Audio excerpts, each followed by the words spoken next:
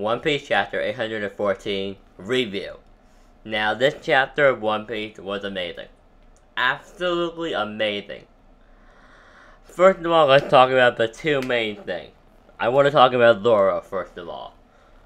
Zoro in this chapter pointed out something I've been thinking for a while. I mentioned it right away when I found out.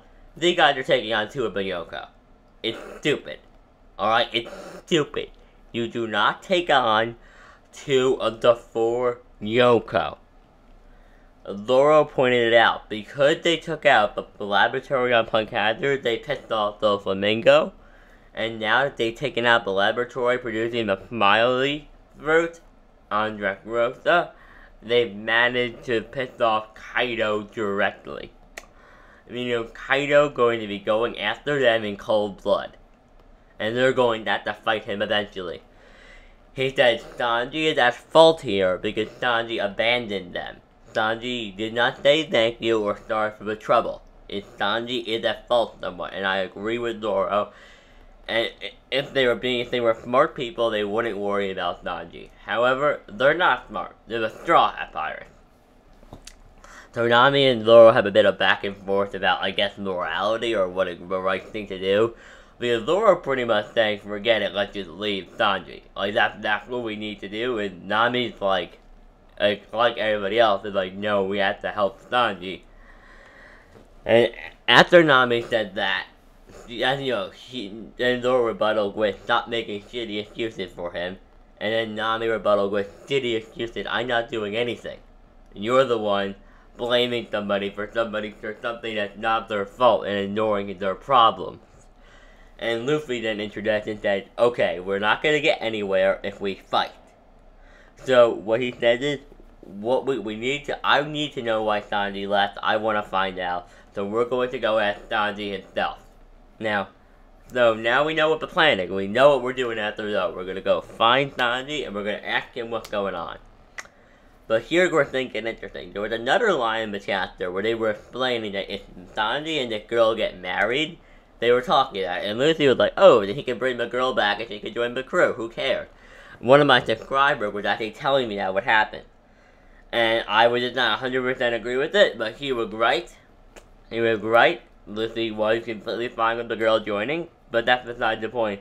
It was then pointed out to Luffy that if Sanji and this woman get married, because Big Mom and and Yonko, they will become they'll become her underling. They'll become part of her crew. And Luffy was like, no way in hell is that gonna happen. Like, he was like, no way. And then when somebody said, you know, Sanji was leaving, he was like, Sanji going to quit our crew? That's worse than being Big Mom's underling. This is very interesting. Luffy never takes orders from anybody. He didn't even take orders from Whitebeard during the war the best to say that he doesn't take orders from anyone yet. Yet. He sits down. And he takes and he's like willing to become Big Mom's underling for a period of time. If it means Sanji staying with them. That really says a lot of how much he cares about his crew. We knew he cared, but we didn't know he cared that much. I love that. Now, uh, there isn't much else to really talk about. I've really talked about everything besides, of course, the bomb in the room. The thing I have to talk about. Sanji's family. They go, we get into new, we get to hang out with, Mo, with Nekomamushi for a bit. They had gag. He had the gag of like, I don't even know what it was. He had the gag of saying a certain word. I forgot what it was, but you know. He's just obeying all Chopper's doctor orders. Or the or four kick with it. Or kick would say, doctoring orders. I'm sorry.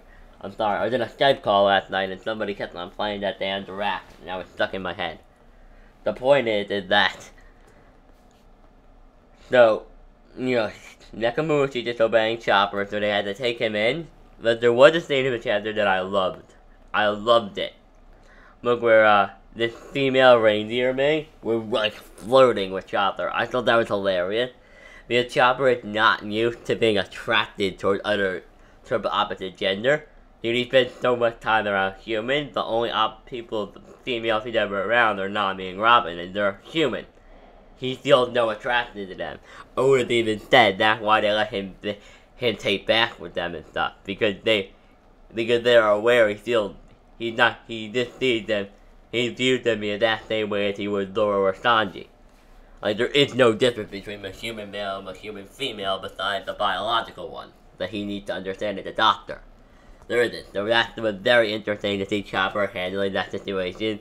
He was like all stiff and nervous. It was whole, and very uncomfortable. It was really, really well done.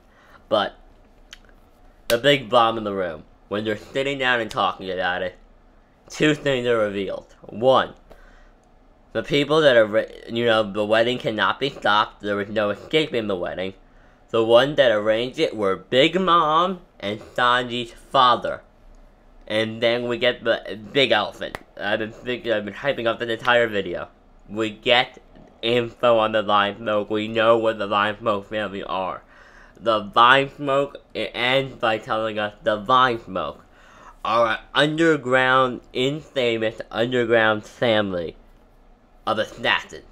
I think the best example, even though I'm not the biggest fan of the series, I've stated on multiple occasions, Hunter Hunter Killua, I think his name is, I don't remember, I never finished it, I didn't really like it very much. But that's for a whole nother video. The point, is that's a good example, like both of them have like families of assassins. I mean, it's very interesting. I mean, I was blown away. You look at my live reaction. I was mind blown. Mind blown. I was like, wait, what? Assassins? Wow.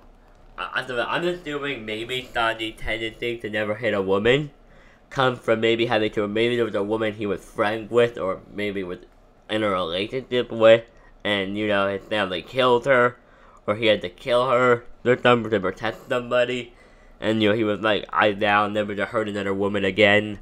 That's the only thing I can think of as to why he doesn't hit women. Because there's more to it than just morality. Like, Sanji is willing to die before he hits the woman. He put the entire crew in danger before, just so he doesn't have to hit a woman. How he risked Robin dying in Enies Lobby. Let's be honest, he could have easily beaten Kalifa, but he left it up to Nami he left it up to Nami. If Nami had failed, Robin would have died. Think about that. He is a, he put Robin's hand in somebody weaker than Robin's life in the hand of Nami, who was weaker than him, all because he couldn't hit a woman. There had got to be a reason for that. Did I know for a fact he valued Robin's life more than he valued Kalifa. He could care less. Like he didn't care when uh Kalifa was when Nami was beating up Kalifa. He could care less. He was like, oh, good job.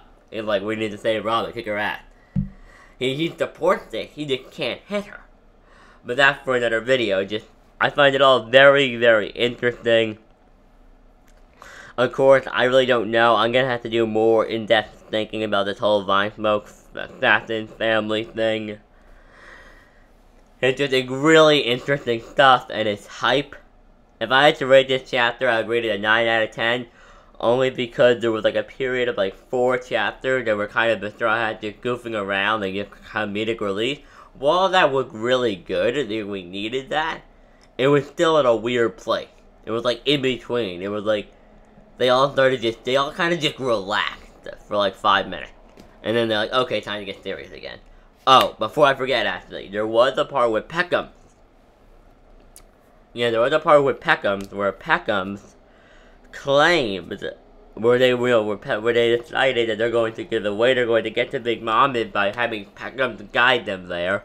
Which makes a lot of sense considering Peckham is injured death because Nami, Sanji, and Chopper and Brooks saved the though. But yeah, this is a very interesting chapter. Bombshells were being dropped left and right. Probably the best chapter of 2016 so far. That's a bold statement considering the past three chapters have been godlike. Also, this truly is the year of. At first, I was kind of like, well, what is the year of? Because the past months have just been Sanji-centric stuff. I mean, this is really hype, really good content. I hope you guys enjoyed. Please like, comment, and subscribe for more videos. I think One Piece Nation signing out and just... Sanji is a boss. Yeah, have a great day.